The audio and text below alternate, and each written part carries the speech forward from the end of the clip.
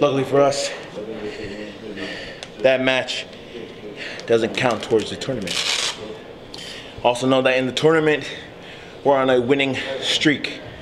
We are three and one. So what happened tonight? It's just a side note.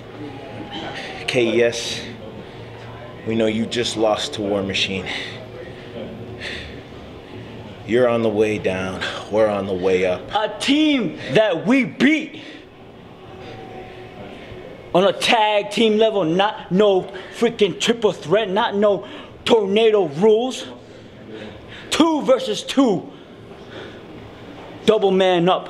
We beat the team that beat you. So where does that put us? Well, duh. Above you. Like it always is.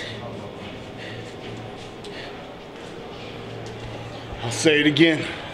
We are the champions. This tag league is ours. We found one bump in the road.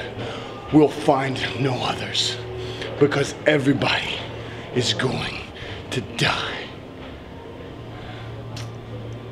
War Machine, you may have beat KES yesterday, but mark my words, that doesn't happen again. This tag league belongs to KES. Despite losing yesterday, we are still going to win this tag league. Tomorrow, GOD, no BS rules, no three way matches, just you guys and us. We'll see who the best team is.